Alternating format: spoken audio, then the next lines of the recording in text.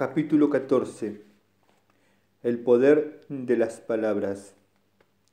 Hay hombres cuyas palabras son como golpes de espada, mas la lengua de los sabios es medicina.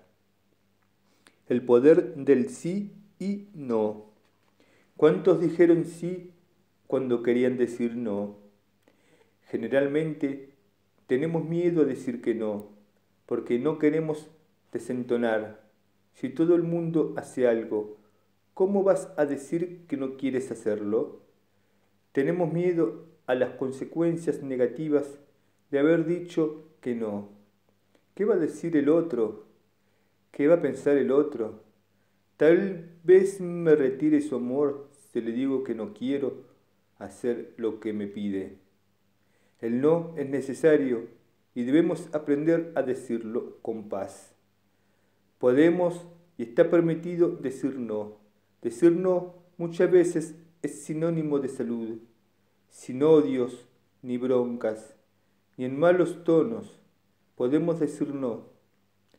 Cuando nos cuesta decir no es porque no sabemos ni podemos distinguir cuál es nuestra prioridad en la vida, hacia dónde estamos apuntando y cuál es nuestro blanco las decisiones que tomes van a estar determinadas por el objetivo que quieras alcanzar. ¿Estás apuntando al lugar correcto con tus palabras? ¿Tomas tus decisiones de acuerdo a los objetivos que te propusiste? ¿O estás viviendo y hablando solo por hablar y llenar espacios vacíos. Cuando uno tiene un blanco correcto, puede definir qué es lo que va a aceptar y qué es lo que va a rechazar. El sí y el no no son solo palabras, sino límites y permisos que nos damos. El sí y el no forman parte de toda negociación. El sí y el no determinarán tu posición de liderazgo, autoridad y control sobre tu propia vida. El sí y el no hablarán de ti mismo, de tus intereses y tus determinaciones. Un sí y un no, dichos con sabiduría y a tiempo, te evitarán grandes dolores de cabeza. Cada sí y cada no que establezcas determinará una solución o un nuevo problema. Cada sí y cada no que emitas sabiamente o no, estarás acercándote o alejándote de tu éxito. Cada sí y cada no que pronuncies te hará mantenerte enfocado. Cuando conoces cuál es tu blanco específico, sabes a qué cosas decirles no y a qué decirles sí. Sabes a quién elegir, con quién hablar. Ser responsable. Responsabilidad es saber qué hacer y qué no. La gente se destaca cuando tiene palabra y cumple con lo que promete. Deben creer en ti, que tú sí es un sí y que tu no sea un no. Y si por un momento dudas acerca de la respuesta que debes dar, tómate cinco minutos y di como en la pauta publicitaria. Me tomo cinco minutos y me tomo un té. Tú tómate cinco minutos o todos los que necesites antes de decir un sí o un no como respuesta. Date tiempo, permítete reflexionar para evaluar y decidir. Nadie puede tomar el control de tu tiempo y de tus decisiones. El otro podrá esperar unos minutos y una vez que decidas, Mantén lo que hayas determinado hacer, no lo cambies. Si te equivocas, puedes volver a empezar. Determina un objetivo y cúmplelo. Debes estar respaldado por la verdad y no por la falsedad o la mentira. Ser fiel a uno mismo y a nuestras palabras nos convertirá en personas creíbles y confiables tanto si hemos dicho sí como no. Si quedas en encontrarte a una determinada hora, hazlo, no llegues tarde. Si te comprometiste a asistir a alguien en una determinada situación, cúmplelo. No lo postergues ni lo canceles. Si firmaste un contrato, sé responsable. Las palabras tienen valor. Seamos fieles a nosotros. No pactes con nadie, solo con ti mismo. Pero una vez que des tu palabra, sé fiel a ella. Cuando somos capaces de llevar a cabo lo que hemos prometido, nuestras relaciones, sean familiares, laborales o sociales, son cada vez más óptimas. Un hombre fiel a sus palabras es confiable y apto para estar en niveles de poder y liderazgo. Controlemos lo que sí podemos controlar, nuestras palabras, porque te conviertes en lo que piensas y cómo lo dices. No funcionemos por emoción, sino por convicción. Hay personas que actúan según lo que sienten. Me siento mal, me siento bien. Un día se sientan reyes y al otro día insignificante.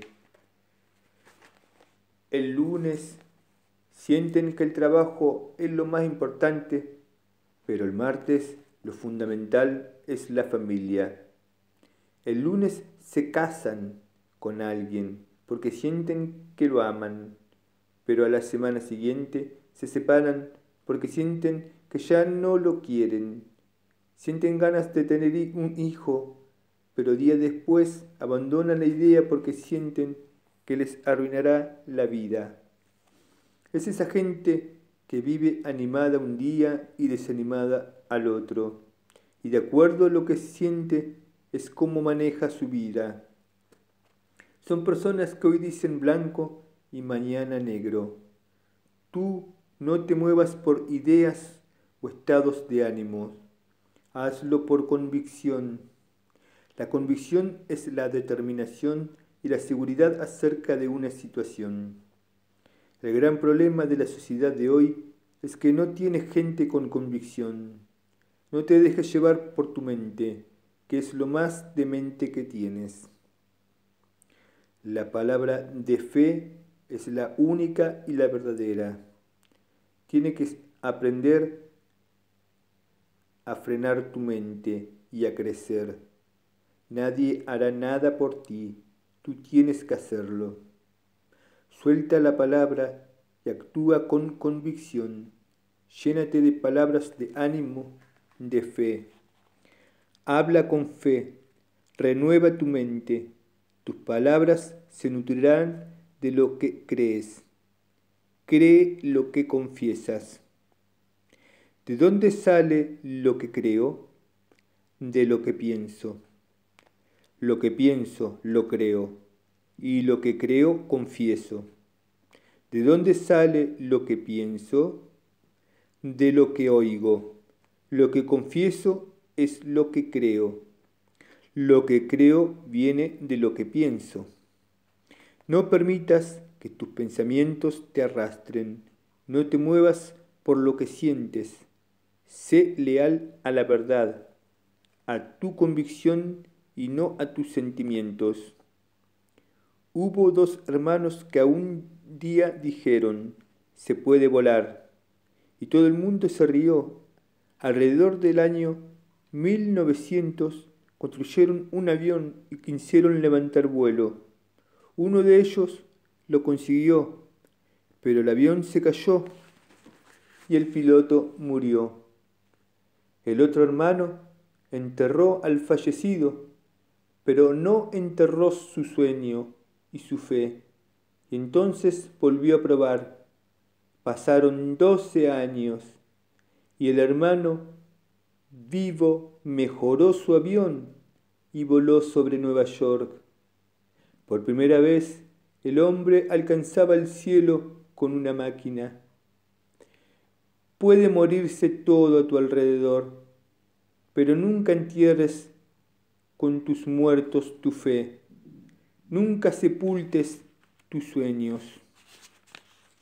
Lo que pido, eso recibo. Es habitual ver a ciertas personas que no pueden ser felices porque no expresan directamente lo que quieren, lo que desean o lo que piensan. Piden, desean, anhelan si ser específicos. Muchos tienen inmensos deseos en su corazón, en su mente, anhelan alcanzar metas, pero no pueden ni saben expresarlos. Son esas personas que cuando se les pregunta qué es lo que están esperando de la vida, responden paz, amor, felicidad, salud, dinero. Y esos deseos no son malos, pero son indefinidos, metas abstractas imposibles de evaluar. Cuando pedimos, necesitamos ser concretos. Solo así podremos enfocarnos en las estrategias que debemos diseñar para alcanzar nuestras metas.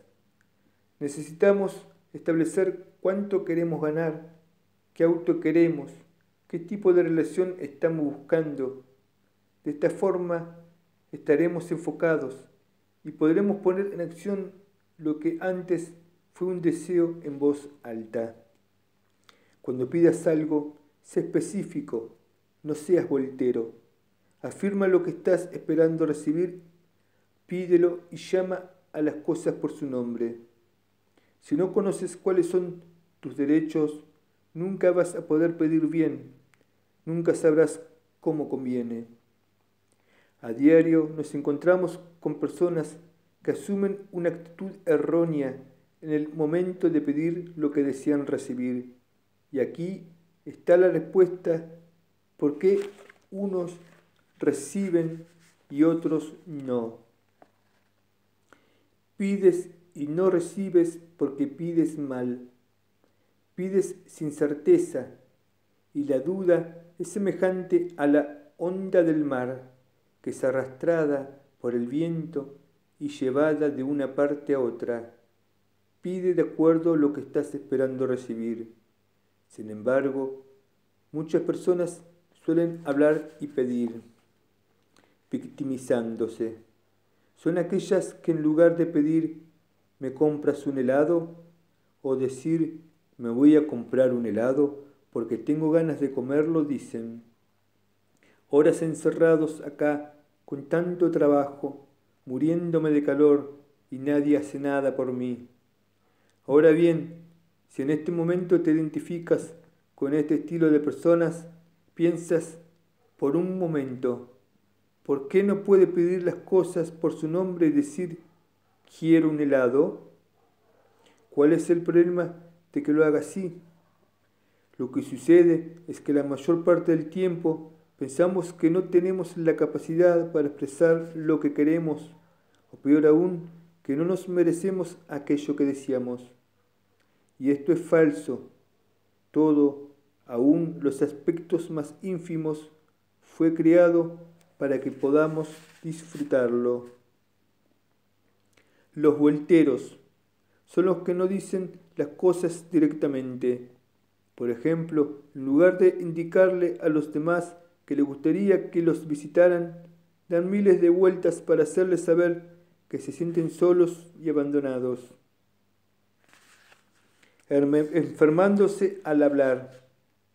Es el típico caso de aquellas personas que se enferman cuando están atravesando un problema o una dificultad son las que no pueden poner en palabras sus emociones. Entonces, son sus cuerpos los que deben hablar. En estos casos, es común que manifiesten síntomas como fiebre, dolores de cabeza o mareos. malestares estomacales que denotarán que algo malo está sucediendo.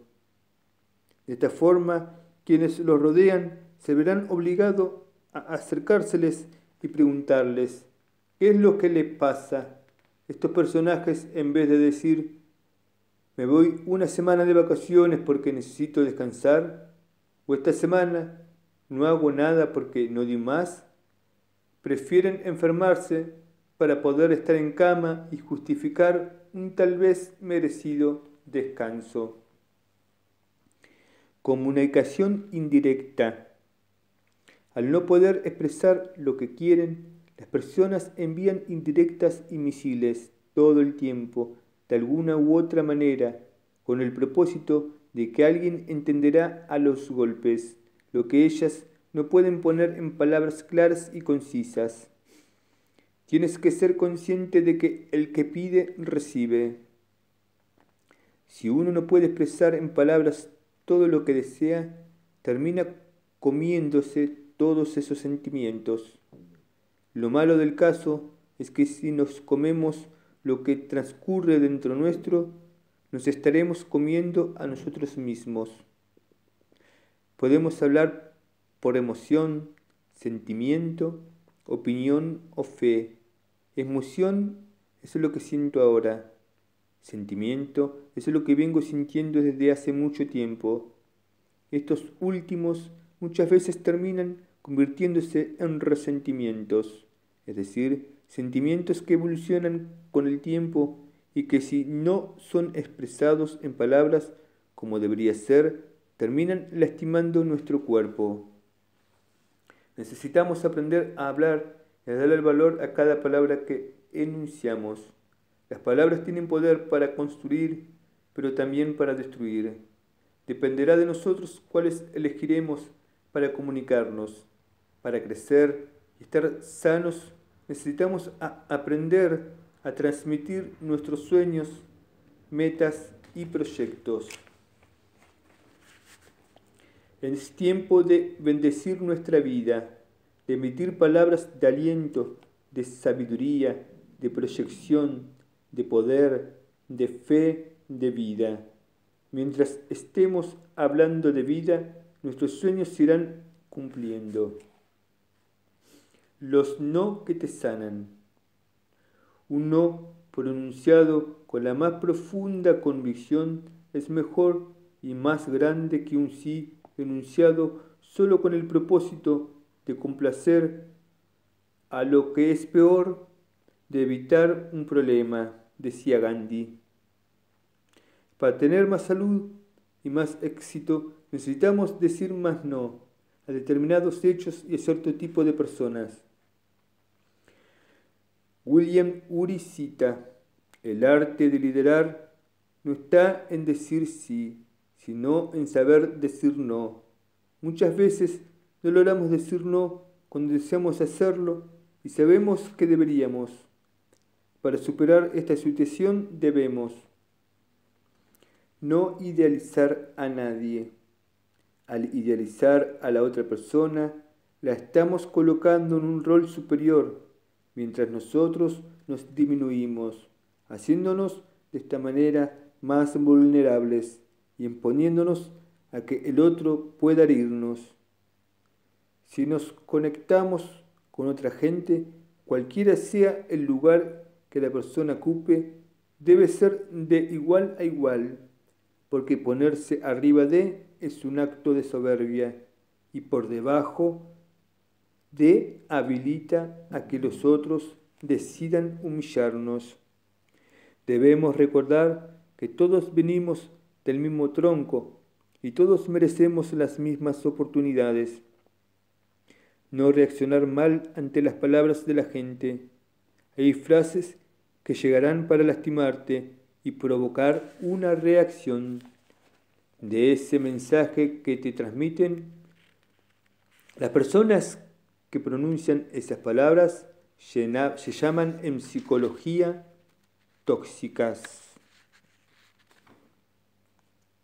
El ofendido es el que con una palabra o conducta tuya se ofende y de esa manera manipula.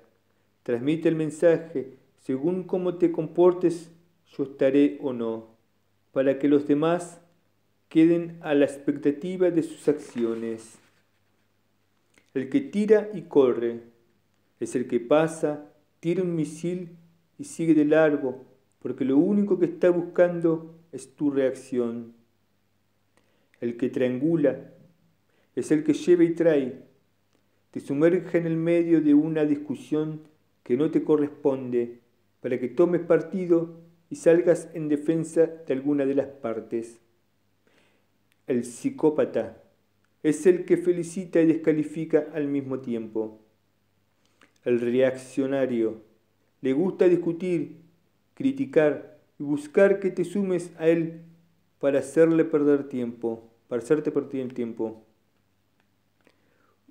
Un consejo para caminar con salud. No reacciones ante las palabras de la gente. Aprende a no esperar nada de nadie. Si ponemos las expectativas en la gente, solo obtendremos frustración, porque un día responderán bien y otro día mal. No existe nada más variable que las emociones humanas.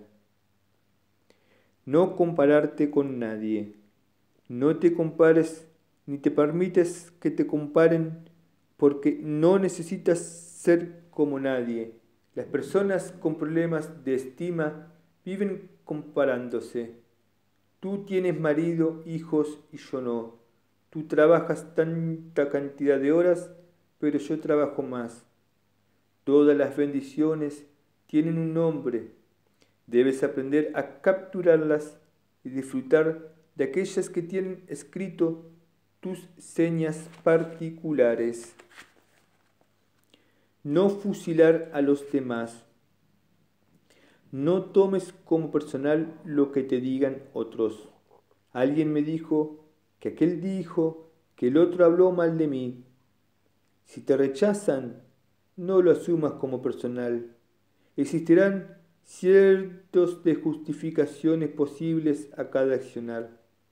Quizás la persona que te lastimó fue lastimada, por lo cual herirá a quien sea por su propio conflicto.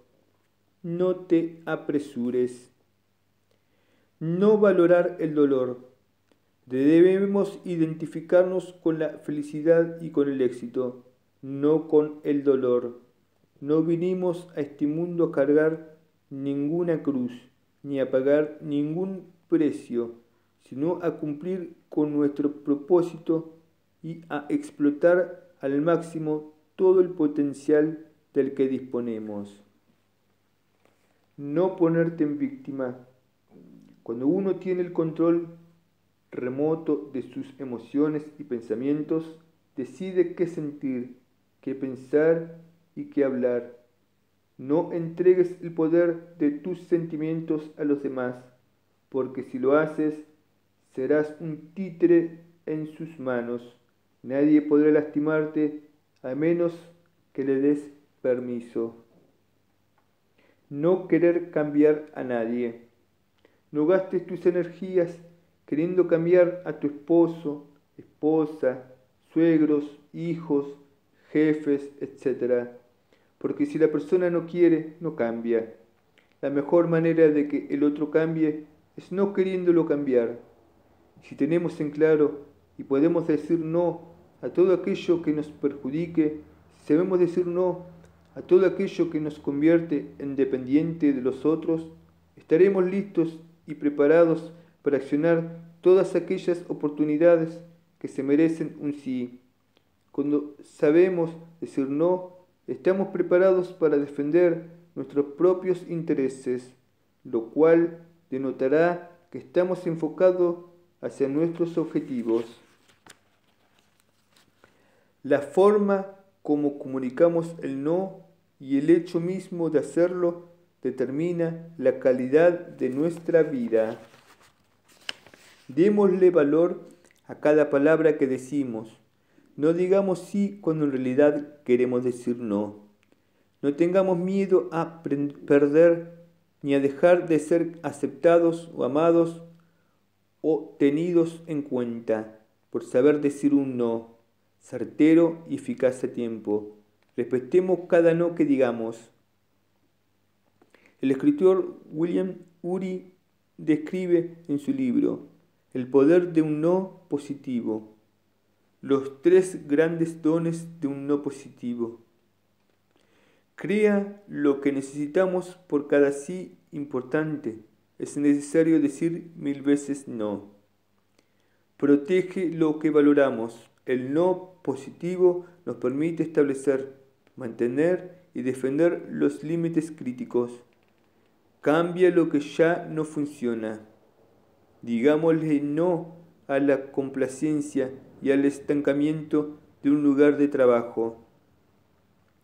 Un primer y certero no muchas veces es el principio del camino que necesitamos recorrer para llegar a establecer vínculos interpersonales sanos y acuerdos exitosos.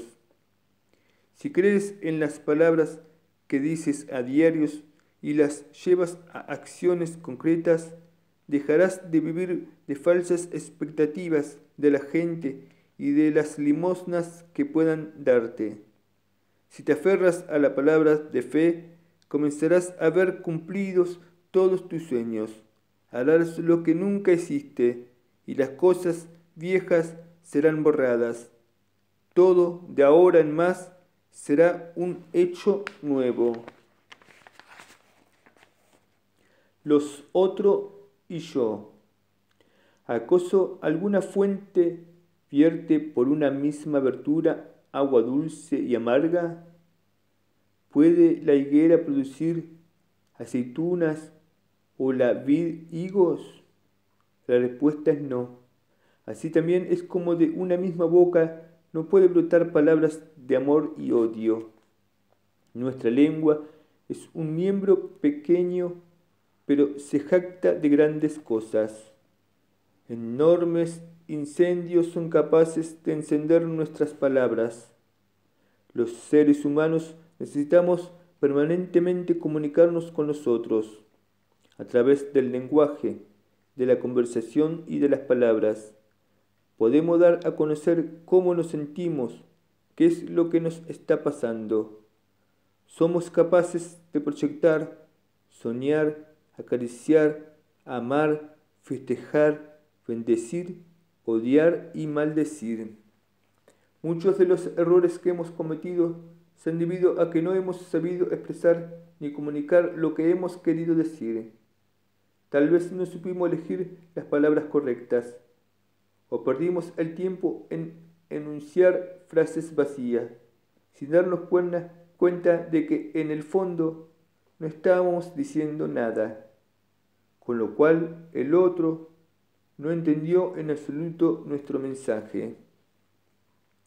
También puede ocurrir que la otra persona no registre lo que estaba diciendo por distracción, falta de interés, cansancio, aburrimiento, estrés o simplemente porque nuestras palabras solo denotan bronca, ira, enojo, enfrentamiento o discusión. La mayor parte de nuestro tiempo no estamos escuchando a los otros, sino que estamos prestando atención a lo que le iremos a decir, aconsejar o a contestar, otorgándole así mayor poder a nuestras palabras que a escuchar al otro. Sin embargo, saber escuchar resulta mucho más eficaz que verbalizar miles de vocablos sin parar. Si pudiéramos prestar atención a lo que los otros intentan decirnos, no solo lograríamos entenderlos, sino que llegaríamos a comprender su interior y su accionar. Todos hemos tomado malas decisiones alguna vez, porque nos faltaron palabras de sabiduría.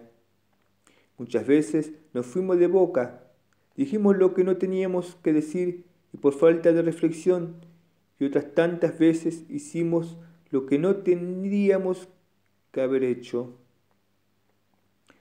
Solo cuando alguien camina sabiendo qué decir y qué hacer, se convierte en una persona sagaz.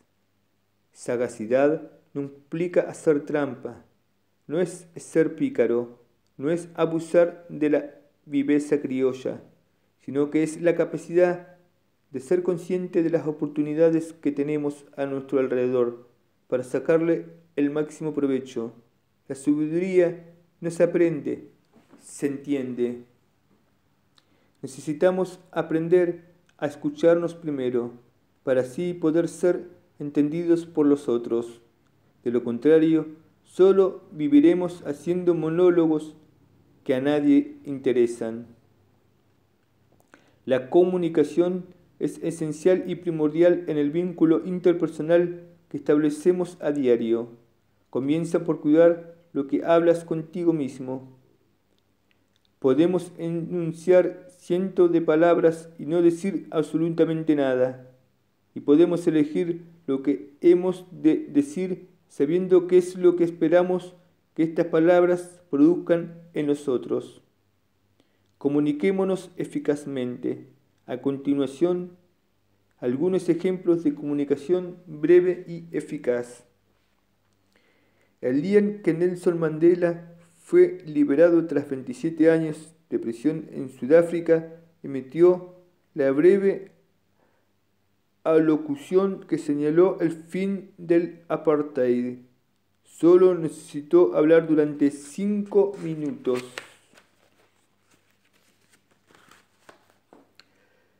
La oratoria de Winston Churchill ayudó a salvar a Inglaterra de ser vencida en la Segunda Guerra Mundial. La lectura del texto completó duró seis minutos. Cuando hablamos, no lo hagamos por emoción, ni por sentimiento, ni para expresar una opinión ligera. Hablemos porque lo que hemos de decir será un canal de comunicación y resolución. Hablar no significa imponer nuestra verdad, cueste lo que cueste, sino expresar nuestra perspectiva y dar a conocer un mensaje. Una vez dicho esto, los otros serán libres de aceptarlo o no. No debemos, dejemos que nuestras palabras nos condenen ni condenen, nos juzguen o enjuicien. Llenémoslos de palabras de vida, de pasión, de aliento, de estima, de motivación, de anhelos, de deseos, y accionemos de acuerdo a ellas. Aprendamos a hablar en positivo y no en negativo. Hablemos claro. Sujétate con fuerza. Es mejor que ten cuidado de no caerte. Estos son los alimentos que puedes tomar. Es más positivo que estos son tus alimentos prohibidos. Siéntate aquí. Es mejor que no te sientas tan cerca del televisor. Nelson Mandela nos llamó a sus memorias un largo camino para dejar el apartheid, sino un largo camino hacia la libertad.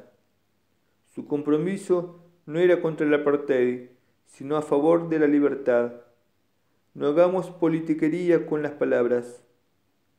Otorguémosle valor, convicción y firmeza a cada una. Construyamos con ellas puentes, no los polemos.